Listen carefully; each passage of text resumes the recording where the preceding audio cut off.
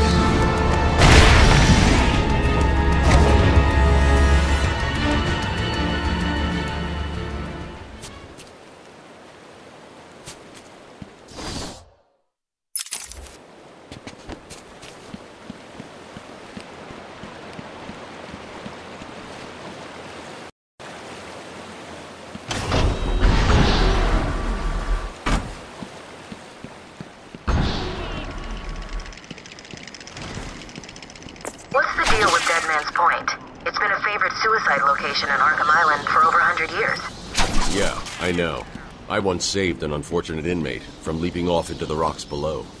I found a cave entrance and over the years have moved a number of supplies here. It's a regular home away from home.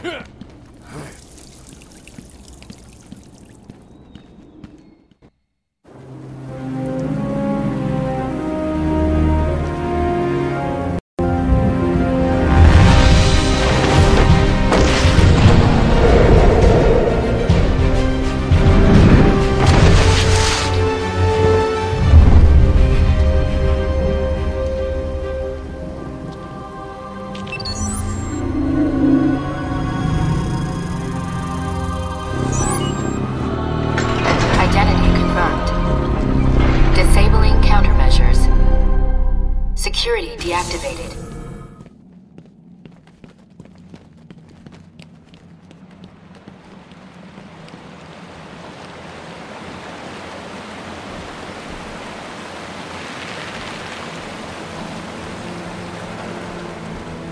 On. Dr.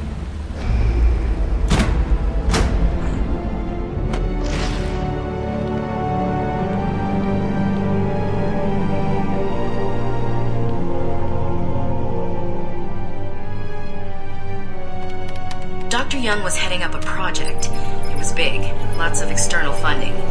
Here are the last notes she filed. I can't make sense of it. What does it mean? Looks like she was experimenting on the Arkham patients. This new chemical only barely resembles the original Venom compound. There are a number of changes that appear to amplify the strength of the drug. Multiple references to a Titan formula. Even a small amount could trigger a Venom-like transformation in the host, eliminating the need for the storage tank Bane requires. Hang on. These notes aren't complete. The formula is missing. That must be the secret Dr. Young is hiding. If Joker gets his hands on this, he will create an army of a thousand Banes. My god. Is Joker crazy enough to do that?